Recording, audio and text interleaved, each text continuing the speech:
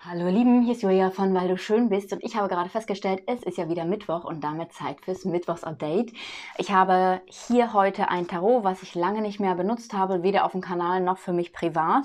Das nennt sich The Good Tarot, das gute Tarot. Und du siehst schon, die Karten sind riesig hier, aber passen auch sehr schön in die Deko mit der Blume und dem Tisch und hier schon wieder das Grün. Und ähm, ja, ich würde sagen, wir schauen einfach mal, was die Botschaften sind für den heutigen Tag. Ich würde sagen, wir gehen damit rein und zwar, was ist das Thema, was ist die Herausforderung, was ist der Tipp und wohin führt das Ganze? So, was ist das Thema des heutigen Tages? Plus, minus ein paar Tage habe ich das Gefühl. Es könnte eine etwas fließende We äh, Legung sein. Was ist das Thema hier im Kollektiv? Die Herrscherin ja, die Lichtverhältnisse im Übrigen sind heute ein bisschen bescheiden, ähm, weil das Licht so krass reinballert und dann ist das Licht wieder hinter einer Wolke weg und dann verändert sich das hier immer. Also sorry für die, äh, für das Hell-Dunkel, was hier gegebenenfalls jetzt passieren kann. Aber wir haben hier die Herrscherin, das ist das Thema. Ähm, kre ähm, kreieren, erschaffen, äh, etwas nähren. Das ist auch die Karte der Fülle, ähm, aber die Fülle bekommst du eben, wenn du was erschaffst, kreierst, wenn du etwas nährst. Wo gibst du jetzt deine äh, Energie rein? Ne? Schwanger gehen, das ist die Schwangerschaftskarte, schwanger mit Projekten, gegebenenfalls auch wirklich das Thema Schwangerschaft, was hier auf den Tisch kommt. Ähm, aber was sind die Projekte, was sind die Sachen, ähm, die du jetzt nähren möchtest, wo du möchtest, dass die wachsen. Das kann eine Beziehung sein, das kann ein Job sein oder ein Hobby. Aber die Herrscherin sagt oder fordert dich auf, eben ganz genau hinzuschauen, äh, wo du jetzt deine Energie reinsteckst, damit du dann eben in dieser Angelegenheit irgendwann zur Erntezeit gehst ne, und die Ernte hier einfährst. Die drei ist auch die Zahl der Kreativität. Das könnte auch ein verspielter, neugieriger Ansatz sein, wenn ich mir jetzt nur die Zahl anschaue heute hier mit, der, mit dem Hauptthema. Ähm, wir haben theoretisch dadurch auch, die drei ist eher so die kindliche Energie, die Herrscherin ist eher eine mütterliche Energie. Es kann also auch etwas sein heute, ähm, wo irgendeine Situation mit deinem Kind auftaucht oder mit deiner Mutter. Ne? Also eine Mutter, äh, Mutter Kind-Situation auf die eine oder andere Weise kriege ich hier auch rein. Ähm, und da kann es dann auch um Anerkennung und Wertschätzung gehen, grundsätzlich. Schauen wir mal, was die Herausforderung ist. Die Stärke.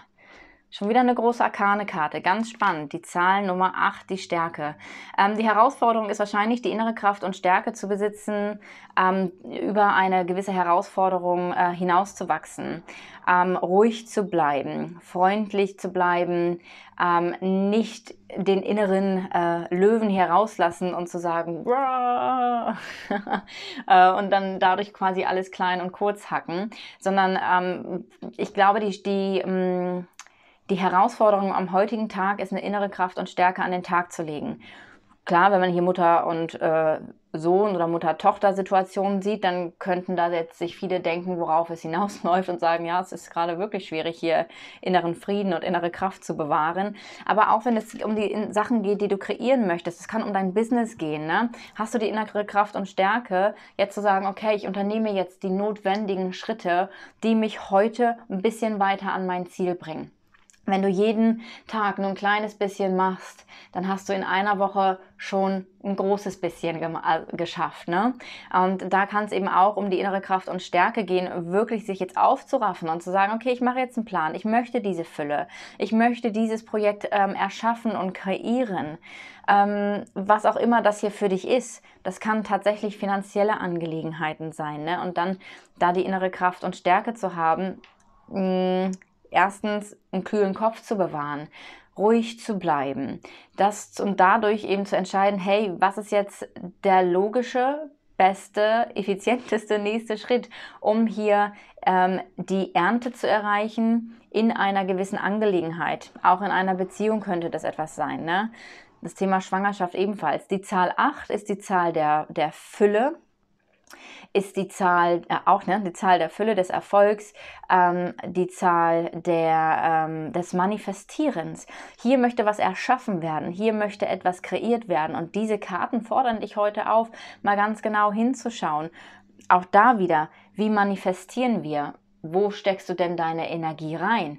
Gedanklich gesehen? Lässt du dich ablenken von Dingen, ähm, Kleinigkeiten, die wir ja dann oft auch als Großigkeiten irgendwie empfinden? Oder hast du die innere Kraft und Stärke, deinen Fokus umzulenken auf die Dinge, die du wirklich willst, die Dinge, die dir gut tun, die dich vielleicht auch selber nähren? Ne? Das hier könntest du sein in deiner eigenen Kraft und Stärke hier im wahrsten Sinne des Wortes.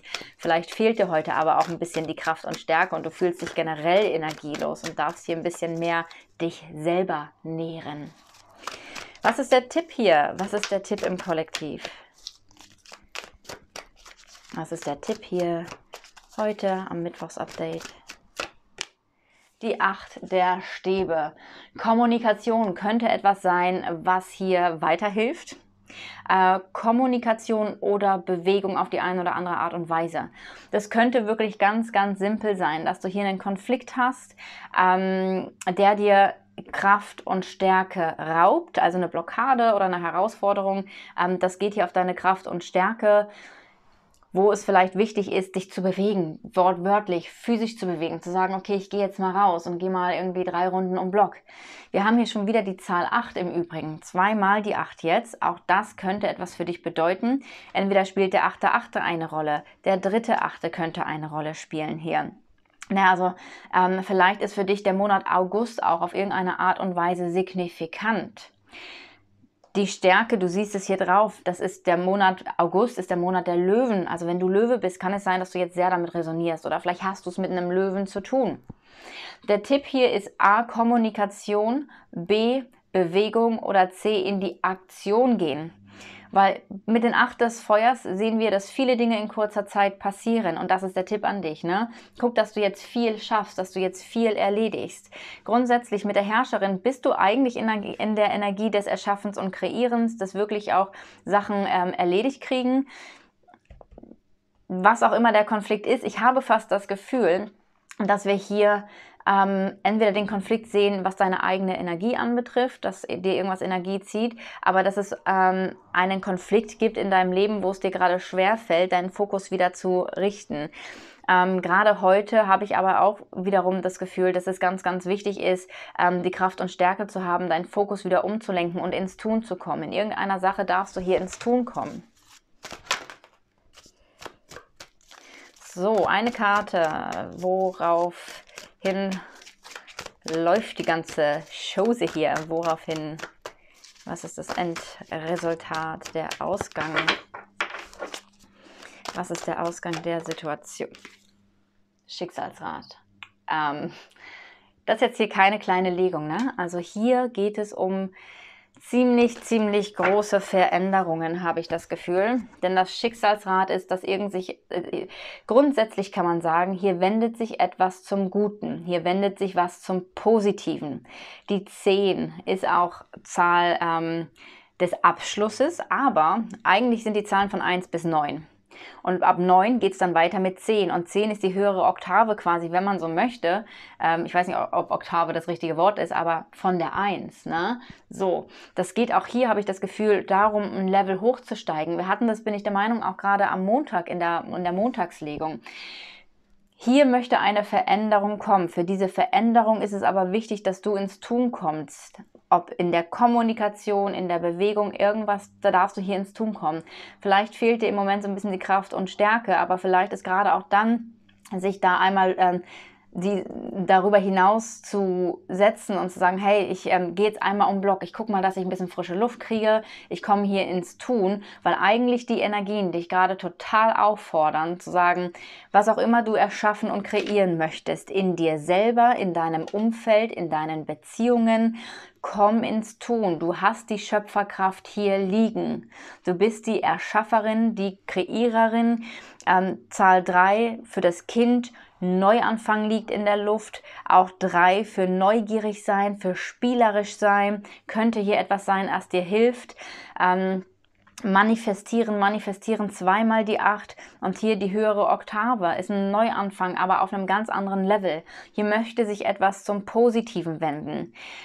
Für manche von euch kann das eine recht große Sache sein, eine recht lebensverändernde Sache mit dem Schicksalsrad, was wir hier liegen, wo ich das Gefühl habe, das kann sein, dass dieses Schicksalsrad etwas ist, was jetzt vielleicht noch nicht heute komplett zu sehen ist, sondern dass du hier auf etwas hinarbeitest, was eine große Veränderung sein wird, was ein Level höher sein wird in irgendeinem deiner Lebensbereiche. Für den einen oder anderen, wenn das für dich eher im Privaten hier ähm, heute ist und du sagst, ja, mir fehlt es heute voll an Kraft, ey, das ist voll meine Schwäche, ich möchte eigentlich kreieren, ich bin eigentlich inspiriert, aber ich habe die Energie nicht, die Kraft der Stärke nicht.